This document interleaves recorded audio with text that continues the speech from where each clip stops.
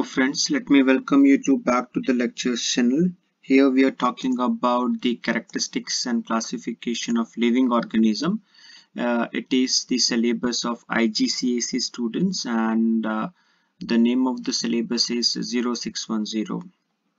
Uh, so uh, it's in Cambridge syllabus so uh, the other students uh, who are from CBSE, ICSE if they wish to watch it they can watch it.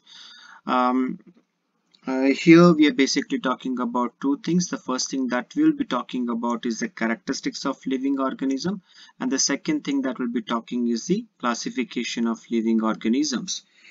Uh, so let's start with me. My name is Jitain and uh, you can follow me you can follow us or uh, follow us to download or get the PDF file of this particular notes file um, on the Instagram. Uh, the Instagram links are given in the uh, description box of the YouTube channel. And uh, please note that uh, the fund which is generated um, from this particular YouTube channel will be totally going for social development. So let's start people. Uh, we are talking about the characteristics of living organisms. So you can remember the characteristics of living organism by Mrs. Gren. Please understand the fact that uh, the characteristics of living organisms are not uh, only Mrs. Gren. We can have certain more characteristics also. But in our syllabus of IGC, IGCSE, we have only uh, this uh, seven characteristics. So let's quickly understand uh, what all these characteristics are and what are the definitions of them. So we are first of all starting with the movement. So movement is basically an action by an organism or by the part of an organism. Either an organism itself, a full organism is doing an action or movement um, uh, or the part of an organism is doing uh, the action and that action need to cause the change in the position there should be a change in the position or there should be a change in the place of a living organism a very important thing that you need to understand here is that the movement has to be by self okay? Uh, let, let me give you an example to uh, enhance your understanding on this. Let's say we basically have a sand of heap here and uh, wind is flowing in this direction. So the sand heap moves to this particular place. So what is happening over here is that there is a change in the position and there is a change in the place taking place so uh, is this uh, sand of heap living? The answer is no, it is not at all living. Uh, why? Because uh, the movement is not by self. The movement has to be by self. Okay, so let's quickly move on to respiration. Uh, the respiration is basically defined or can be said as a chemical reaction. Uh, please understand this. I'm, I'm writing it as chemical reactions. It's not a single chemical reaction as we have written in this definition, I mean this equation over here. So where does uh, this uh, steps of uh, means approximately there are so many steps inside it uh, it's a full process. Um, in this uh, we have the glucose molecule um, breaking down. We have few steps in uh, glycolysis like uh, and then further on we have Krebs cycles so it varies. It depends upon the type of um, respiration also that how many steps it will be having or how many uh, um, chemical reactions will be there inside it so for right now you can understand that it's just a, it's a series of chemical reactions and they take place in the living cells. And what happened in this case is that there is a breakdown taking place. The breakdown of what? There is a breakdown of the nutrient molecules. The nutrient molecule which is generally broken over here is your glucose molecule and this is going to release what is required for the body that is ATP this ATP we are going to use for our daily need. This ATP we are going to use for our enzymes this ATP we are going to use for our movement. This ATP we are going to use for our sensitivity. This uh, ATP we are using for the growth. So all the processes um, you know which requires energy inside of our body will be um, you know uh, will be getting those energy by the process of respiration only. Now uh, now metabolism. Now let's understand uh, what of the energy is released that is released for the metabolism. So metabolism basically means uh, in a simple language if I say all reactions. All reactions of a living organism uh, will be called as a metabolism. So if, if you need to enhance more the on the definition of the metabolism you can say that um, it is the sum total of all the reactions which are taking place in a living system okay? So that is metabolism. So what you're understanding over here is that we have a glucose molecule uh, that is uh, you know reacting with the oxygen molecule and giving us the carbon dioxide water and energy. Please understand the fact that this is your aerobic respiration. Now aerobic respiration is a respiration which is taking place in the presence of oxygen. So what will be the next one next type of it. The next type will be anaerobic respiration. So the anaerobic respiration will be taking in the absence of oxygen. So about that we'll be discussing in the upcoming chapters in detail. Now let's move on to the sensitivity. So sensitivity is basically the ability of an organism to detect or sensor stimuli. Now stimuli basically means what? Stimuli basically means it's a change in the environment. Okay, right now let's say uh, it is, uh, let's say for simple example, it is uh, 30 degrees Celsius. What will happen if I make it uh, 0 degrees Celsius? That is, uh, you know, that is what we're gonna feel out. That is what we can feel the difference in the temperature so stimuli basically or that is what the change that environment taking place. So that change in the environment is basically called as a stimuli.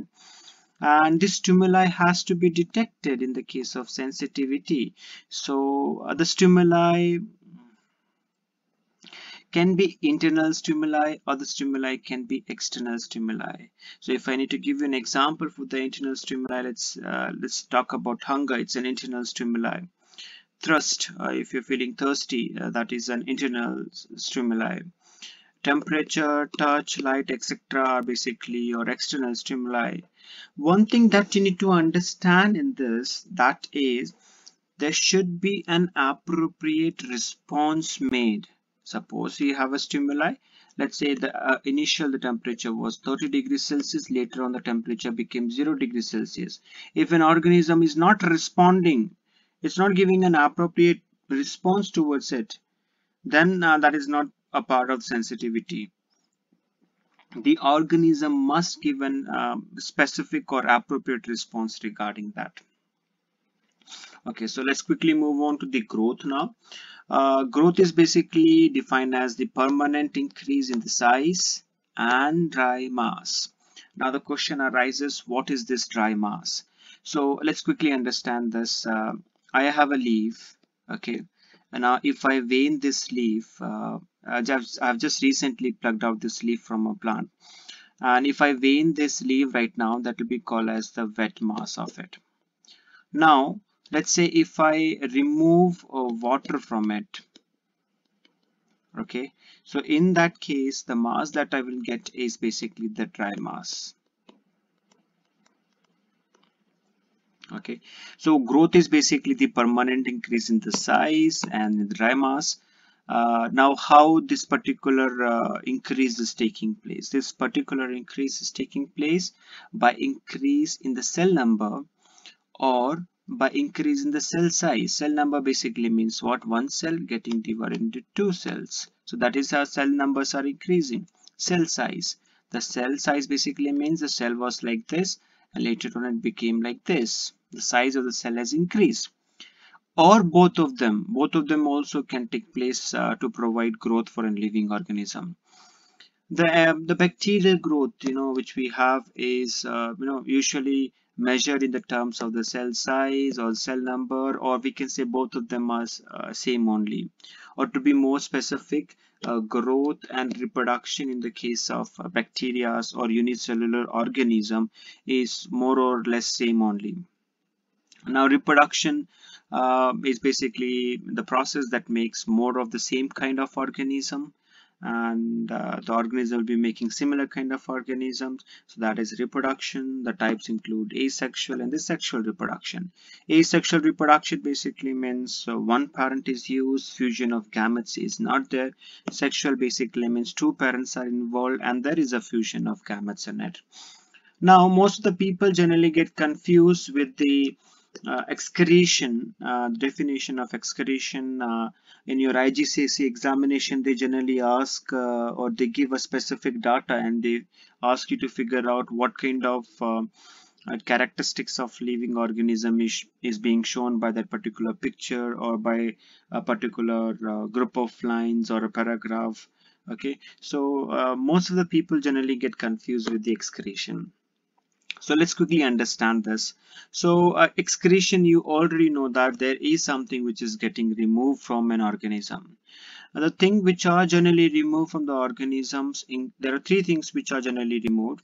The first one is the waste product. These waste products are basically derived from the metabolism. Now uh, if I give you an example of the waste product let's say urea what happens in the case of urea. Uh, let's understand the case of urea. You're taking protein inside your body. So this protein is go the excess um, this going inside your body an excess amount of protein is uh, sorry the, is going inside your body and it is getting converted into AA AA here stands for amino acids. So the excess amount of amino acids uh, are broken down into two things. The first thing is the urea and the second thing is the energy rich compound. So this energy rich compound is used by the body and the waste and toxic material that is urea is removed from the body. So here what is happening? The thing which is happening out here the thing which is happening over here is a chemical reaction or is a metabolic reactions which are taking place over here okay. So from that also we are getting to know that there are some waste product like uh, urea like your bilirubin. So bilirubin is what basically makes your um, uh, your poop yellowish brown in color. So that's bilirubin. And this bilirubin is indirectly formed by the breakdown of your RBCs uh, so that is uh, the uh, metabolic waste which your body is producing Apart from that, by the food you would have taken some of the toxic materials. So if you remove them, that is also the excretion. If you remove the substances which are in excess of requirements, that is also uh, the part of excretion. The last thing that you need to understand in this is the nutrition. So what is nutrition? So uh, that's very simple people. Uh, it's just the process of uh, taking in the materials what materials generally we take. In the case of human beings we can call it as the food or in the in the case of animals we can directly call it as food. Uh, but we are using the word materials because we are uh, uh, talking about both plant as well as the animal over here. So we are taking certain materials for what? We are taking those materials for energy. We are taking those material for the growth. We are taking those material for the development so that is basically the process of nutrition. So you're taking certain material inside your body so that your body can have energy your body can have a proper growth your body can have a proper development. Now in the case of plant uh, they are getting the nutrition by the process of photosynthesis. So photosynthesis is basically a process uh, uh, which is coming under the nutrition so what you know what you already know is that uh, uh, they take carbon dioxide they take water and they take some ions. The ion i'm talking here about is magnesium or well let's say we are talking about the nitrate ions. We'll be talking about this in the upcoming classes.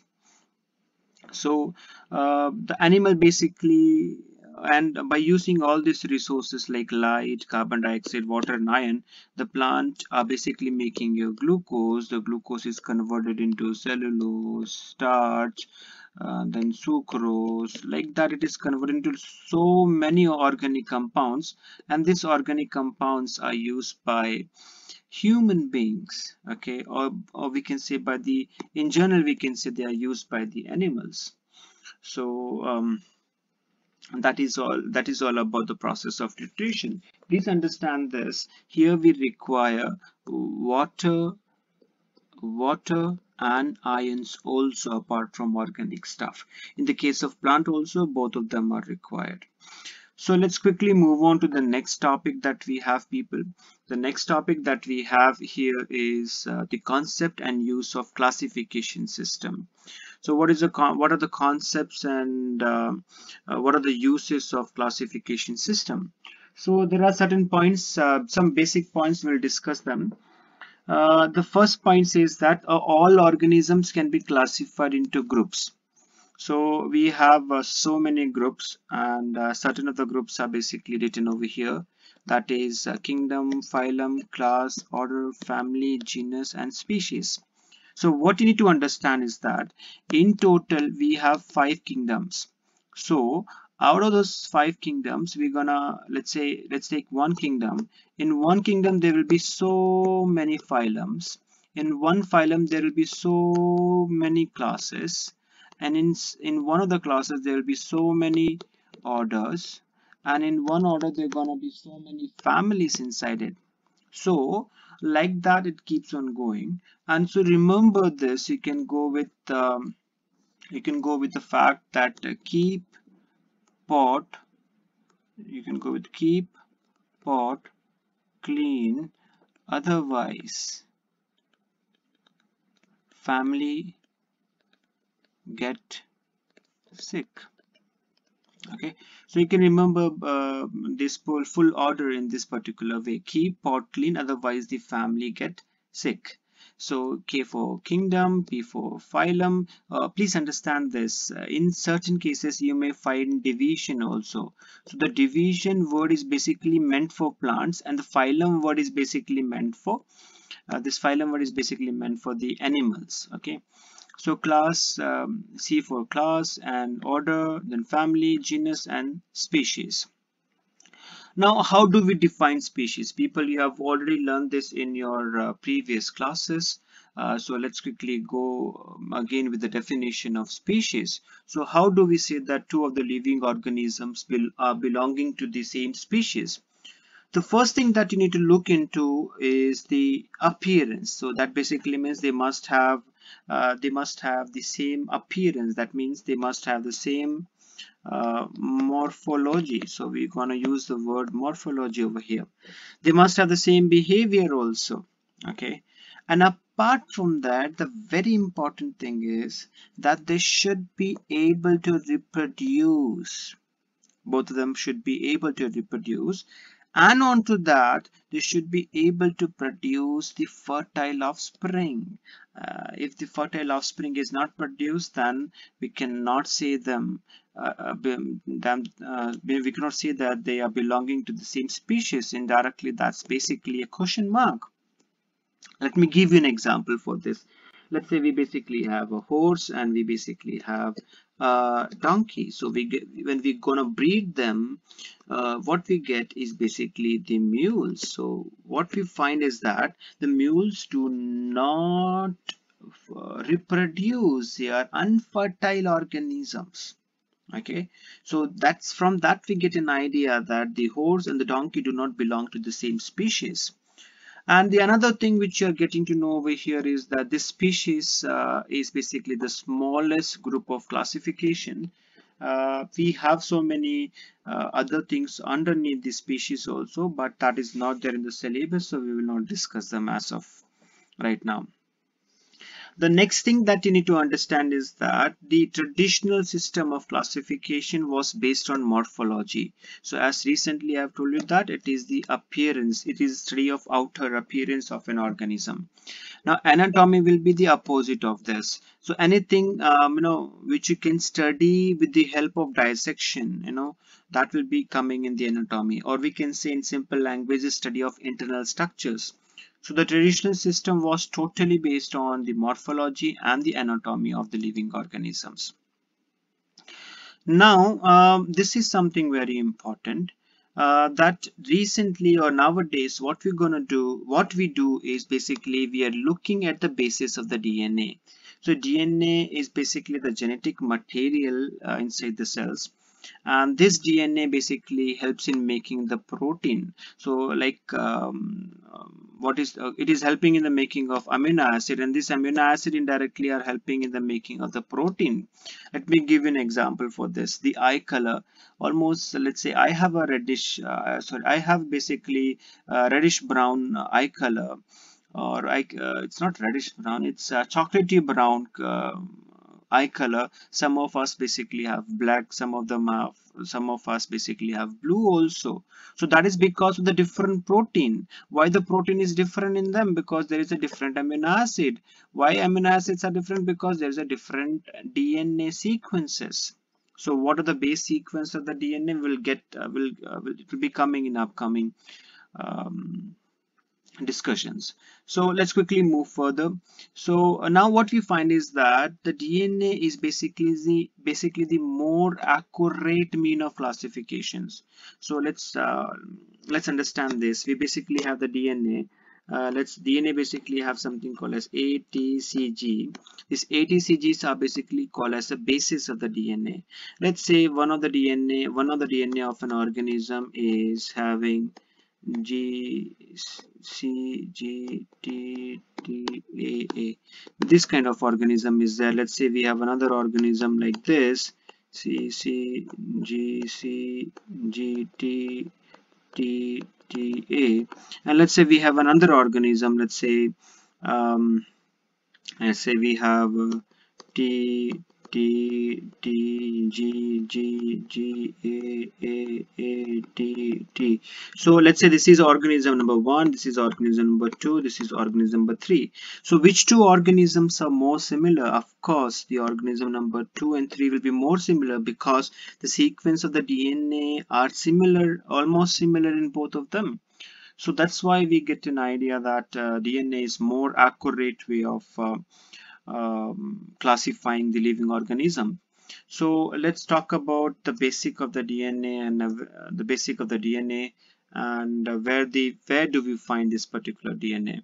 So this you have already studied in your lower classes people. So let's have a quick recap of it. So we basically uh, we basically have a cell cell basically have a nucleus inside the nucleus we basically have something called as chromatin so chromatin get converted into your chromosomes when the cell divides. Okay, so inside these chromosomes, basically have two things. The first thing that we have is the DNA, and the second thing that we have is the some small proteins inside it.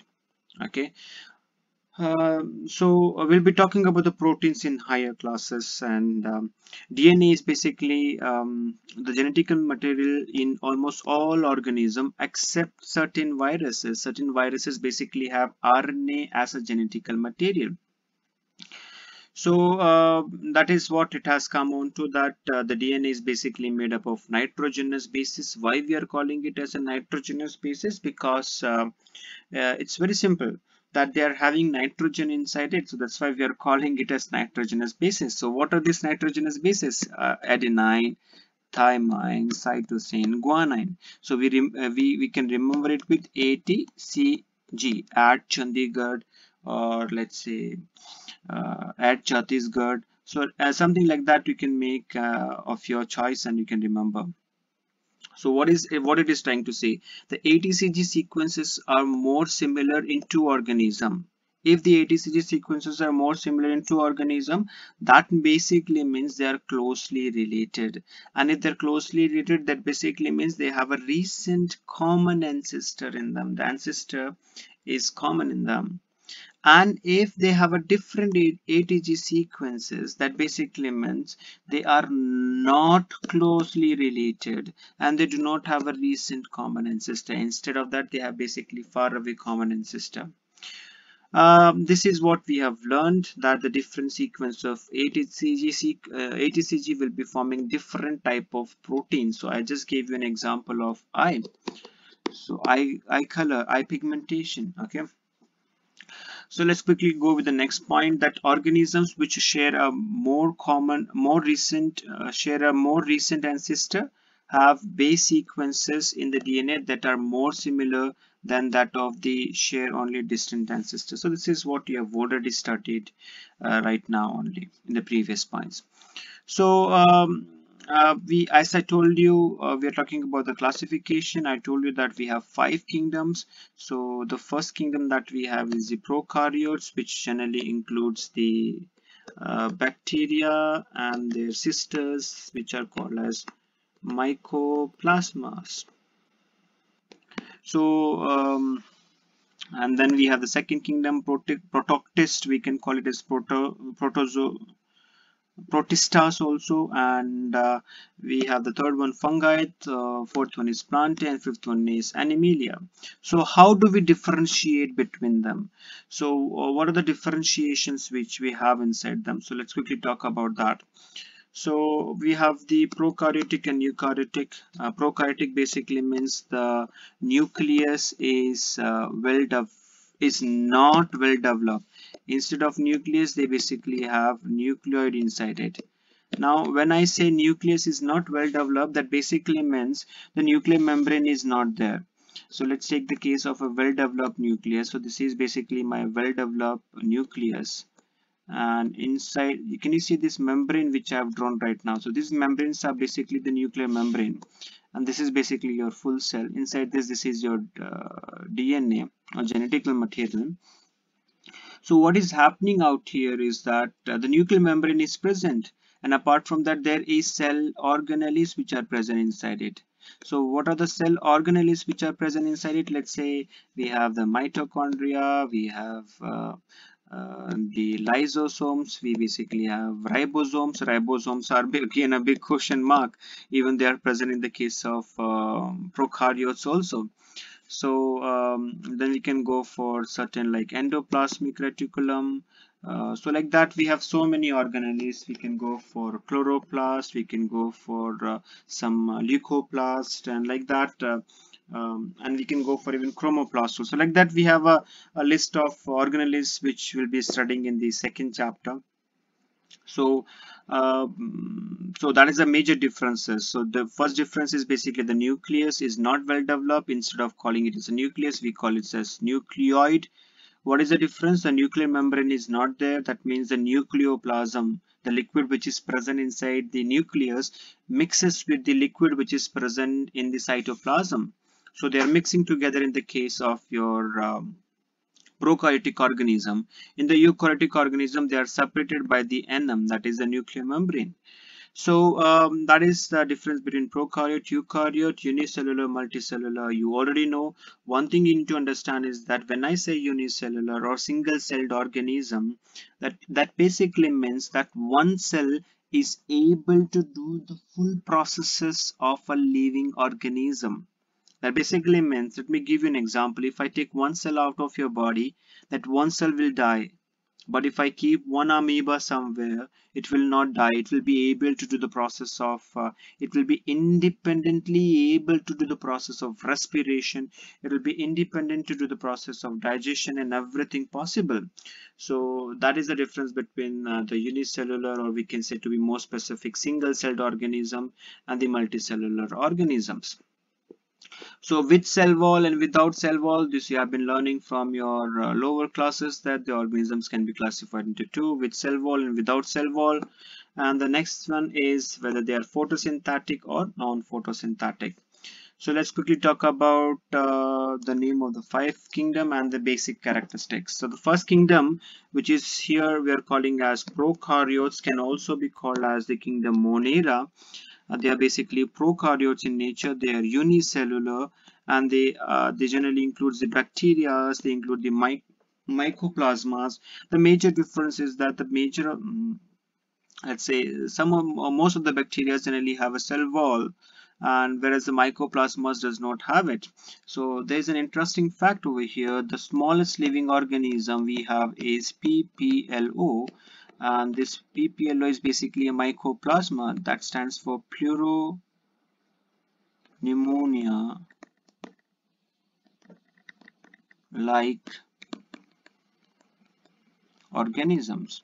So PPLO is basically the pleuro pneumonia like organisms and they are the smallest living organism on the earth. Um, and uh, one thing that you need to understand is that some of the bacteria can be photosynthetic.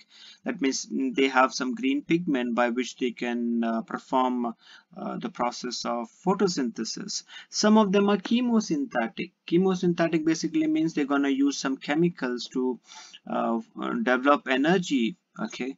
And uh, they do not have mitochondria they do not have other cell organelles also.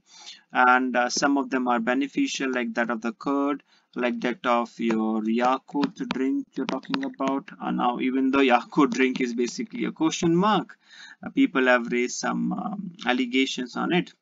So what is uh, is it really good or bad that we need to look into? Okay so some of them are harmful like uh, we we get the typhoid uh, we get the cholera disease uh, we get a large number of diseases like the very chronic one that is the TB uh, that is caused by mycobacterium tuberculosis. So like that we have a list of it. So um, uh, let's go with the next one. The next one that we have is uh, the kingdom protista. The kingdom protista or we can call it as protoctist. Protoctist so this protoctist is basically eukaryotes. So all the next kingdoms like uh, the uh, protista fungi plantae and animalia all of them are basically eukaryotic. And they are again unicellular like that of the monera. And uh, chlorophyll is found in some of them. And uh, some of them uh, some of them like uh, if I give you example you can take uh, Chlamydomonas Chlamydomonas is basically the one which has uh, chlorophyll inside it. So some of them may have chlorophyll inside it. Or if I give you another example, Euglena, it has chlorophyll inside it. Uh, certain other examples include Sir amoeba, which is very common, which is of irregular shape. Paramecium is basically a sleeper shape structure. So, and Gonyaulax is very famous uh, recently because of the red uh, sea tide. You would have seen it in uh, seen it on the Twitter, Instagram, and Facebook. Everywhere you would have seen a lake which turned pinkish in color. That was just because of the Gonyaulax, uh, which is again a protista and uh, let's talk about the fungi now quickly so fungi are again eukaryotic in nature they are multicellular except we have an exception out here that is the yeast yeast is basically unicellular now they basically have something called as an hyphae and they have something called as mycelium. So what is this hyphae? So hyphae is basically a thread-like structure and when we combine these thread-like structures what we're gonna get is basically the mycelium. So let me see if i have a picture of it at the back of this chapter. So yes uh, think I don't have a picture of it. Yes, this is the picture I was talking about. So this individual thread-like structure is basically called as hyphae. Whether it is here or whether it is at the root side, it will be called as hyphae. When you're going to club them together, then it will be called as mycelium. So uh, this is basically your mushroom. So that is basically your uh, rhizopus, I feel, if I'm correct that the scientific name is rhizopus. And um, that is something uh, uh, basic of uh, mushrooms that uh, they are belonging to a kingdom fungi. They are that is basically a kind of fungi. And um, Okay, so what is the next point? Uh, they are saprophytic in nature. What do you mean by saprophytic? Saprophytic basically means they are going to feed or they're going to take your nutrition from dead and decaying matter. So you would have seen, seen that the mushrooms are basically found in those areas only. Examples include your mushrooms, it includes your bread mold and all kind of different molds which we get on the fruits. They are the examples of it. Now, this is something very interesting to be noted over here, people, that the uh, the classification system which we have, you know, it it reflects the evolutionary relationship. The best example that we have here is the uh, mud skipper. So I have a picture of the mud skipper to be shown. So this is basically a mud skipper. So it's a, it's a connection link between uh, the fishes uh, the fishes and the amphibians. So what you need to understand is that fishes are basically aquatic in nature whereas the amphibians require water only for the process of uh, uh, reproduction so what you're finding is that they are coming there there's a that's a connection link. These mudskippers are the connection link between them and that is showing the evolutionary relationship uh, between two of the uh, big groups. We'll be talking about these groups in uh, uh your uh, classification of this animalia okay so uh, let's quickly go with the next one. Uh, this is something very important people generally they ask in the examination. My target for this is to finish uh, the chapter one within one hour. And um, so let's talk about this uh, binomial system people. So binomial system bi basically means two nomial basically means naming. So you're going to name an organism with the two names indirectly uh, that is basically an internationally agreed system and uh, it is being followed almost everywhere on the earth. And uh, it is made up of two names of as I have told that is made up of two names. That is first name is a genus name and second one is a species name. Uh, this was given by our Carolus Linnaeus and that's the reason that he is called as father of taxonomy. So taxonomy deals with identification. First identification classification and finally the nomenclature. So nomenclature basically means the process of naming. So you're going to identify a living organism you're going to classify and you're going to name an organism. So this all processes are uh, the part of the taxonomy. So what are the rules? These rules are extremely important people. Uh, the genus name is always written first and that too with a capital letter. The example out here is this. The canis, the C is uh, the capital and it, uh, this canis here basically is your genus. Species name is written after this. The, the species name over here is lupus and it, it will always start with a small letter. And whenever they are handwritten, let's say if I'm writing an example of Ocimum sanctum, so if i'm writing them i'm gonna write i'm gonna underline them. So when they're when they're typed they'll be typed in italics like this like canis lupus. So that is the uh, scientific name of your wolf. And um, the founder's name can be you know at the back of it like the uh, Betula alba which is basically a plant and L here basically uh, goes for the Linnaeus because he has done a um, he would have helped uh, he would have uh, discovered this particular plant. So some of the examples that we have uh, include the lupus uh, the canis lupus Danaus plexippus is basically the monarch butterfly which we have. So this is basically the monarch butterfly. That's a very common butterfly which we see uh, then we have the Manis gigante basically is your uh, giant pangolin giant pangolin is uh, this one. Yeah this is giant pangolin and uh, then we have the next one that is uh, the triticum aestivum is basically your wheat. Just look look at this Naja Naja, this is basically the scientific name of cobra. So uh, this uh, this first Naja is basically the name of the genus and this second Naja with the small that is the name of the species.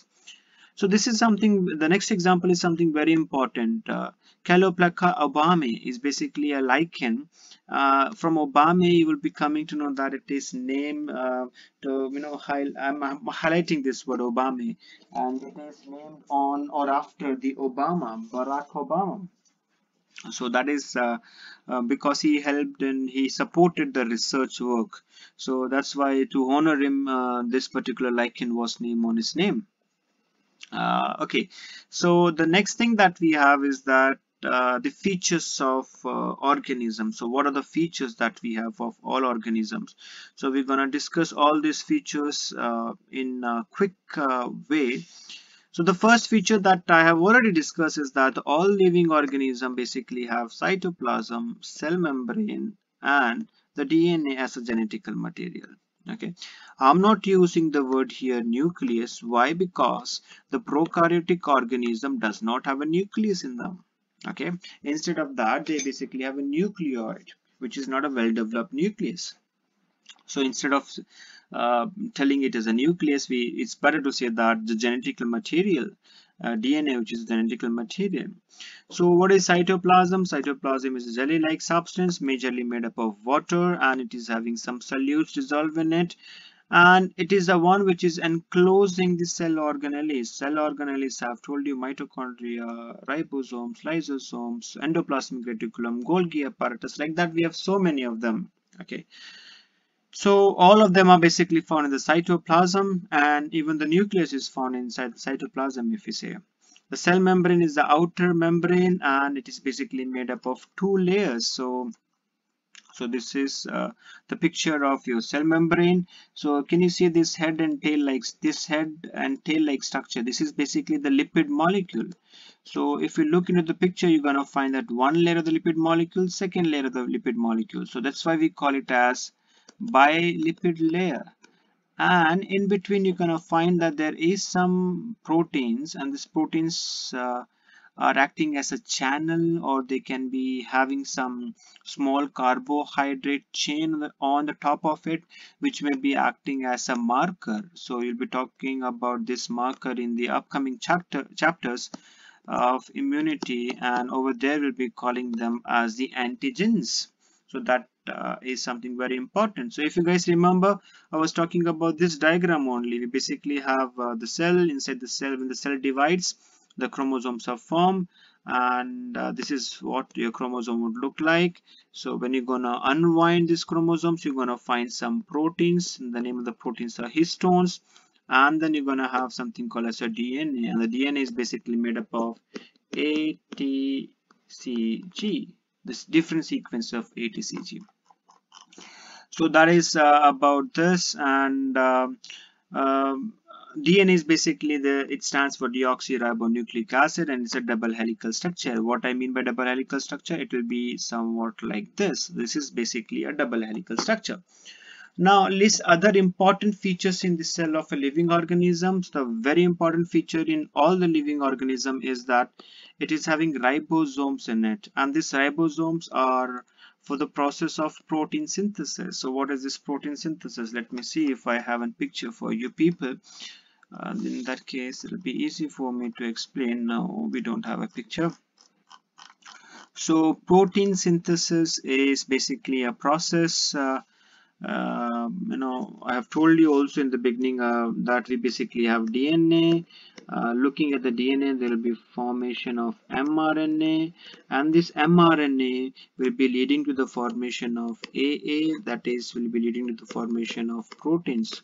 So AA here basically means amino acid. So what will happen is that when DNA forms the mRNA this mRNA will go and bind to some teddy bear like structure. So this teddy bear like structure is basically ribosome. And onto this there will be our um, mRNA molecule binding okay? And uh, and looking at the sequence of this RNA will be now forming okay looking at the sequence of DNA we are forming the RNA and looking at the sequence of mRNA we are going to form the amino acid. So different uh, so the different type of amino acids will be formed over here. Let's say one amino acid is this one. Let's say the another amino acid is this one. So another amino acids are let's say this one. So different kind of amino acids are formed so this different amino acid will be leading to the formation of different proteins. So indirectly, if ribosome is not there, uh, protein synthesis will be a question mark.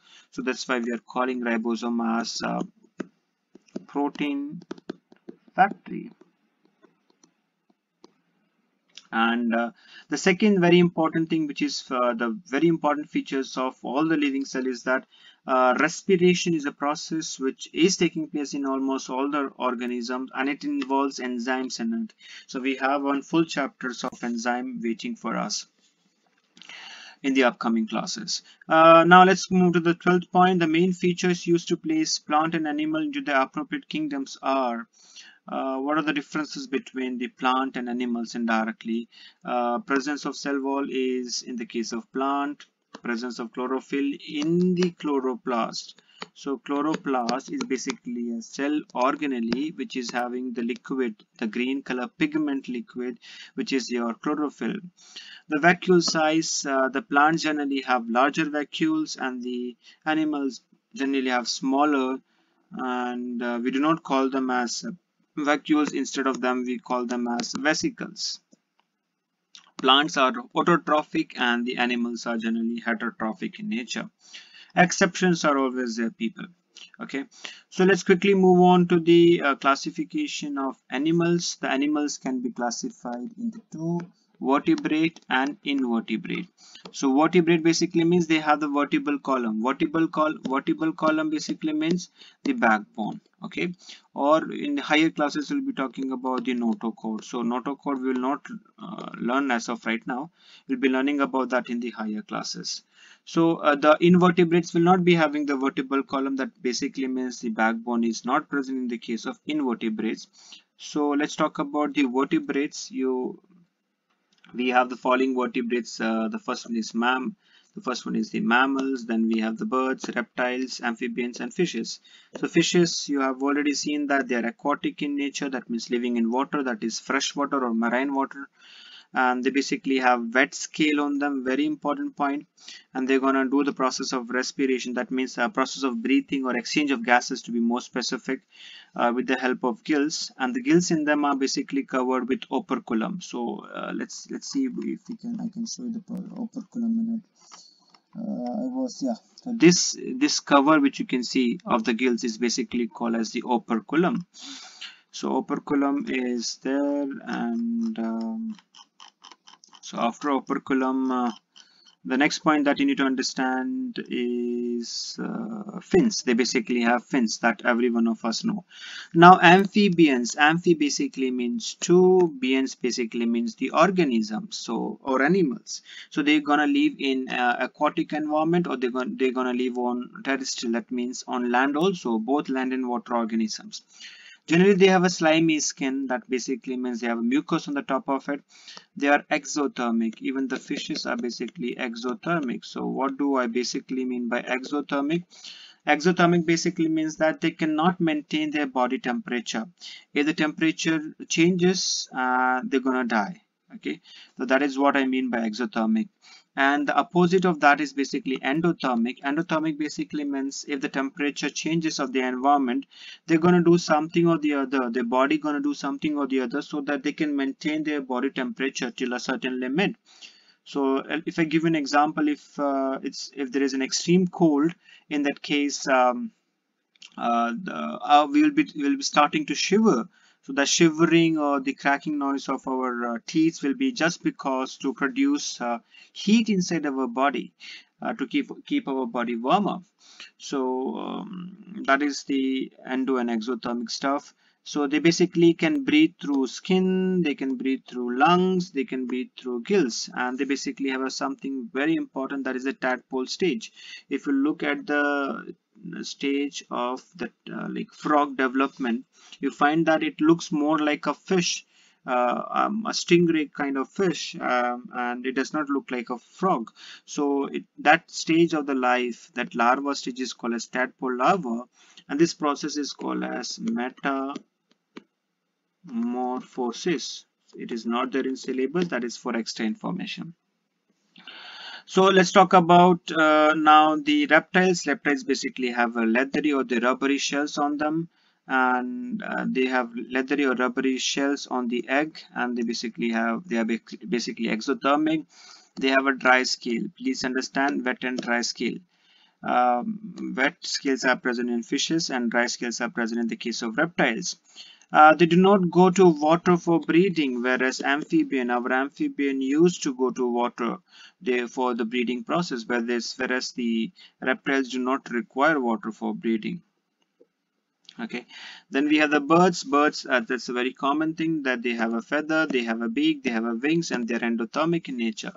The very important feature that is of mammals is the mammary glands. So mammary glands are basically uh, to see please understand this uh, the mammary glands are basically the breast and uh, in the females these are basically meant to nourish the young ones.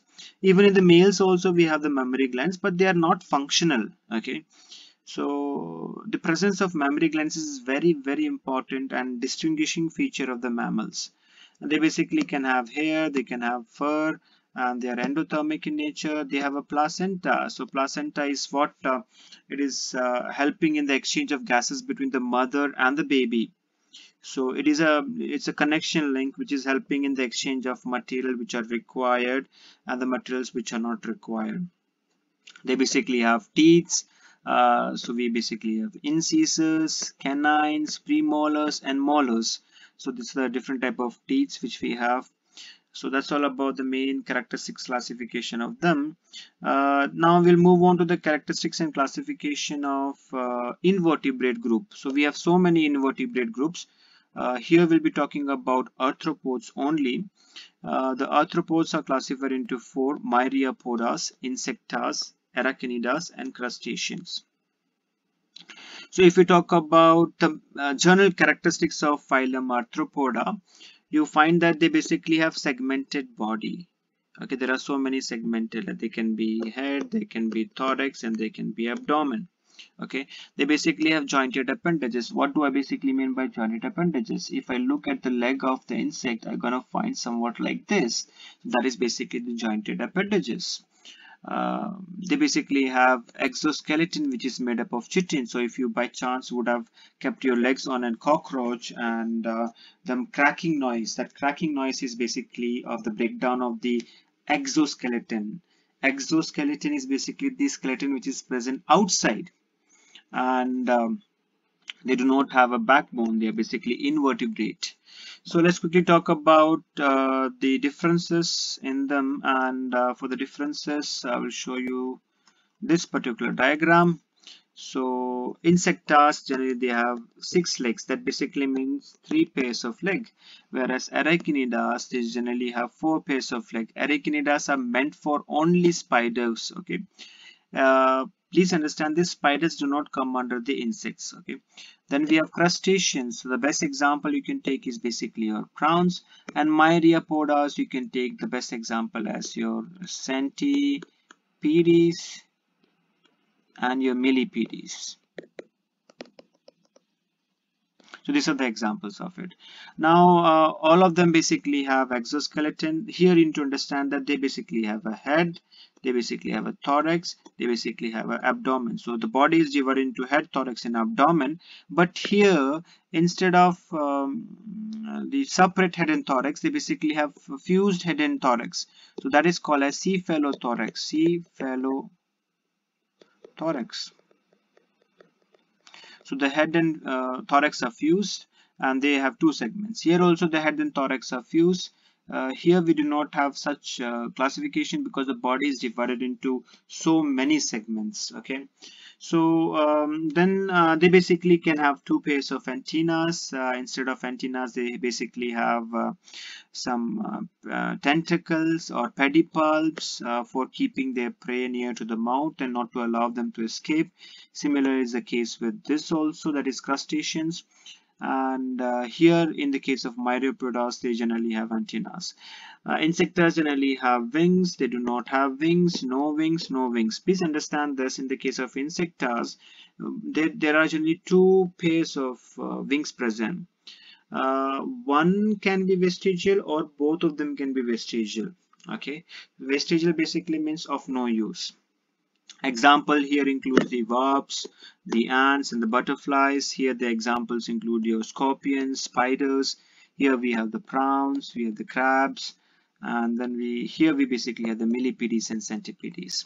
So that is the differences between that's very important people. Generally the question comes from this. Uh, so there is what written over here. Myriapodas have many segments in the body. They have one or two pairs of appendages. One or two pair of appendages coming out from one segment. So understand this. This is one segment second segment third segment fourth segment. So there can be one leg coming out like this in one of the few of the organism. In the sum of the organism from one individual segment there can be two legs coming out from it. So that is how we differentiate between the centipedes and millipedes also. So from one single segment there are four legs coming indirectly so uh, they basically includes the centipedes and millipedes the insects basically have uh, three segments in the body. That is head thorax and abdomen. They basically have uh, three pairs of appendages in them. That's very important three pairs of appendages. That means six appendages in them uh, they basically have two pairs of wings. Either one of them can be vestigial or both of them can be vestigial. They basically have an exoskeleton. This exoskeleton is very important because this exoskeleton prevents the loss of water uh, which is taking place via the trachea. Trachea is basically your wind pipe uh, examples include the bees and butterfly. Arachnids basically have the head and thorax which are fused together and they, that is called as a cephalothorax and they basically have four pair of appendages very important. They have pedipalp so that they can hold their prey includes the spiders and scorpions. Uh, crustaceans basically have the head and thorax again fused. They basically have four or five pair of appendages or more than that is also possible in this case. And they're going to breathe through lungs sorry they're going to breathe through gills. That's very important. And the crustaceans crabs of course they are aquatic in nature prawns they are aquatic in nature. So that is also the point of difference between them. So let's quickly finish this point people. That's a very lengthy chapter. Um, we'll finish this chapter within uh, a few more minutes uh, so now talk up we'll talk about the plants uh, the plants are basically classified into four or five groups uh, like Thallophyta, Bryophyta, Pteridophyta, uh, gymnosperms, angiosperms. That is not there in the syllabus. Uh, so we, what we have in the syllabus is we basically have classified plants into two, ferns and the flowering plants. So flowering plants are also called as angiosperms and these ferns are basically called as uh, pteridophyta. Pteridophyta. Please understand this. This p is silent over here. And we have further classified the flowering plant into dicot and monocot that's very important. That will be coming um, frequently in your upcoming uh, classes uh, the dicot and monocot stuff. So let's quickly understand this people now. Um, so ferns basically have no fruits on them. Okay, they do not have seeds in them. Instead of the seeds, they basically have spores in them. Okay, and they do not have flowers. And they are primitive vascular bundle. The primitive vascular bundle basically means, first of all, understand what is vascular bundle. Vascular bundle is uh, xylem plus phloem they are together called as uh, vascular bundle. So when i say primitive vascular bundle the vascular bundle which was not well developed okay that is basically the primitive vascular bundle. So they have less developed vascular bundle in them. Instead of roots they have rhizomes in them. And uh, they basically have underground stems also in them uh, rhizomes can be called as uh, underground stems also. Uh, there is no much of differentiation between the root and stem in certain cases. They produce spores underneath the leaf. Instead of leaf we call that particular thing as fronds. So i will show you the picture of it. Um, so this is basically your fronds so if you look at, at the bottom of it you can see some black uh, black dots. So that underneath that's uh, this leaves that is uh, fronds uh, you find these spores. So uh, they, they're going to burst open and they're going to spread out uh, for uh, reproduction process. So flowering plant is opposite of it. They basically have the fruits in them and they basically produce seeds so no fruit fruits they produce seeds they, they produce flowers and they have advanced vascular bundles. So we have seen the four differences between them. Let's quickly go with the monocot and dicot the flowering plants are uh, classified into two monocot and dicot so monocot basically means what? Uh, the full name is monocotyledon. Monocotyledon this is to be there. Okay? Joined together apart from uh, if you remove this cot. Monocotyledon dicotyledon or to be more specific monocotyledone so we pronunciate it like that so monocotyledone, the best example is basically your rice. If you look at the rice, you're going to find one single cotyledon.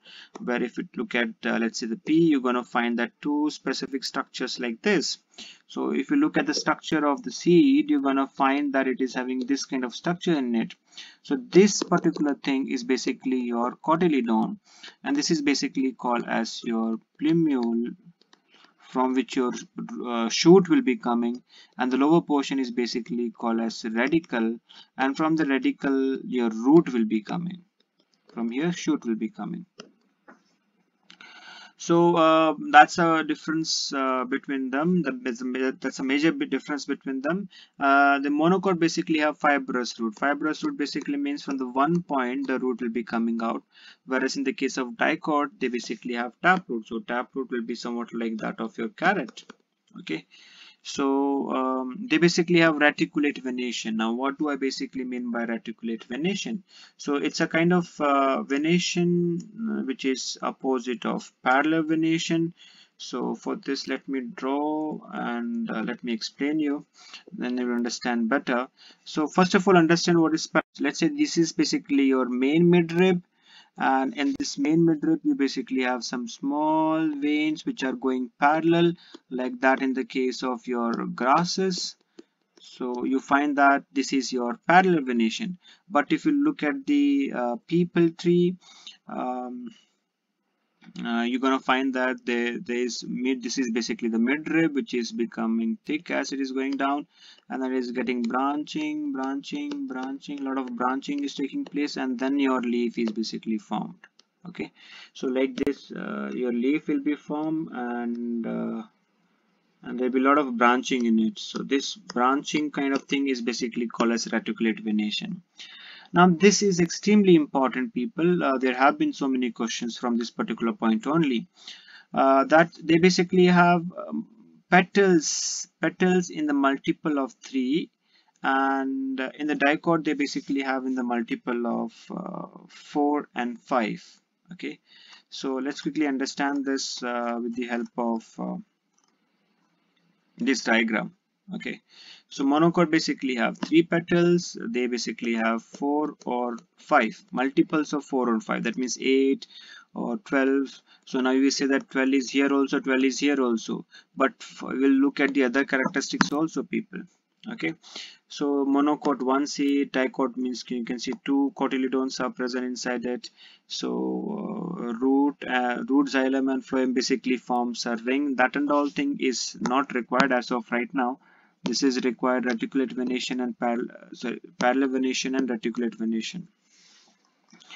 So that are the differences between them and um, then next what we have is the viruses. So viruses people are one of the very important and very interesting organisms visible on the earth or found on the earth and maybe they can be found on the outer space also. Um, what we have in the case of virus nothing. We, they basically have an outer coat and inside that outer coat there is presence of uh, uh, DNA so that is basically the viruses. The outer coat that we have this outer coat is basically made up of protein and the genetical material that we have here the genetical material can be either your DNA or it can be your RNA so as I've told you in the in the previous discussions also in this video itself that there are two possibilities DNA and RNA in the case of viruses. Now they are both considered both as living and non-living. Why? Because uh, uh, outside the living system that means outside a living organism they are uh, um, non-living but when they enter inside a living system or a living organism they start uh, showing the activities or the characteristics of living organisms. They uh, the very important thing that you need to understand is that uh, students generally ask me a question that uh, how if they are just a small speck of thing how they're coming into our body? Man they're coming you they are not coming inside your body. You are uh, taking them onto your body and inside your body okay? So they are just lying somewhere or the other. It's it's you who is going near to them or inviting them. So what what, what you need to understand is that they do not have their own excretion process. They do not have their uh, reproduction process. They do not have their sensitivity process. They don't have anything of their own except the uh, DNA or the RNA which is a genetical material in them and they're going to use this DNA and RNA and they're going to use the resources of the cell to make the protein. Which protein? This membrane protein outside. Okay? So you would have seen in the picture of uh, this particular virus. This is basically a tobacco mosaic virus. So this kind of thing this all thing which I've drawn right now is basically the protein coat. And inside this uh, there will be presence of the DNA so they are uh, not made up of uh, cells and uh, the size basically is around 1 nm nm here is nanometer and 1 nanometer is equal to 10 to the power minus 19 millimeter. So the last topic people that we have is uh, the construction of the keys and um, and uh, I have taken an example from the, uh, the our textbook prescribed textbook that is Jones and Jones. Um, if I'm right uh, that's called as yes Jones and Jones IGCSE biology third edition. Uh, this is a textbook example which I've taken directly. And um, so we basically have one two three four four flowers with us and uh, we we gonna go for making dichotomous key. So what is dichotomous key? So di basically means two and uh, cotomous I also don't know what does that mean so if you know what does the word cotomous means you can write down in the chat box I mean you can write down in the comment box and you can let me know so uh, there are two statements and generally and uh, both of the statements are generally opposite of each other. Let's say if I say have uh, more than five petals or the opposite will be less than five petals. Okay, so like that more than or equal to five petals. One statement and opposite of that. So that is basically a dichotomous uh, key and uh, there are two descriptions which are given at a time and we have to select either of the descriptions this basically lead to the another pair of descriptions. Out of this we're gonna select one of it and then this will be leading to the another two pairs of it. Then from that we're gonna uh, select one of it and then we're gonna go to the another two pairs of it. Like that it will keep on going unless and until we find the name of the organism. Okay? It ends with the organism's name and uh, uh, they generally give uh, MCQ questions from this uh, to find out uh, um, the name of the organisms from the key. So um, for construction of the key we have to focus on uh, focus more on the features that are clearly varying between the living organisms. Do not try to take the colors which are not specifically varying. So let's take an example of it um, on the same uh, uh, thing we have uh, classified two two. The first line which we have is uh, 4 plus 2 petal and 5 petals so if you look into this it is having one, two, three, four, five, five petals. This is having one, two, one, two, three, four, five petals. This is also one, two, three, four, five petals. And here we basically have one, two. 1 2 3 4 2 plus 4 so here we basically have 2 plus 4 or 4 plus 2 petals and 5 petals. So one, we, we, we got the name of this particular flower as viola flower. Okay? And um, mm, then we have uh, the 5 petals. So from the five petals if we are selecting we have again leading to two of them. So overlapping petals or no overlapping petals? So overlapping petals you can see in the case of erodium so the petals are overlapping to each other. So we get a name that this particular uh, organism is erodium. What will happen is that we will not be given this particular name people. Okay? Uh, and uh, and then uh, by looking at these characteristics oh then we'll get to know that overlapping petals uh, we'll, we'll, see the overlapping petals are there. Uh, it is five petal and overlapping petal. Then we'll get to know that yes this is your erodium. So we're gonna write it as erodium. Then we have no overlapping petals. So then we're gonna look at the two of them. It is uh, having uh, two color petals or one color petal. So two color petal here is basically your limnanthus so and one color petal is basically your uh, potentilla potentilla okay? So what you can do is that you can uh, remove this particular name and then let's try this once again. So we have this four of them. So we have two plus four petals and five petals. So two plus four petal is in this. So this basically becomes your viola okay? And then five petals are of two type overlapping petals and no overlapping petals so uh, the no overlapping pet overlapping petals are basically your erodium. So this basically becomes your erodium. And then um, two color petals or one color petal um, two color petal is basically limnanthus. So this basically becomes your limnanthus and this basically becomes your potentilla. Okay? So that's all for, for this particular chapter people. Uh, within uh, one hour 10 minutes we have finished this chapter. uh, stay tuned and subscribe the channel uh, so that I can upload more further videos. Thank you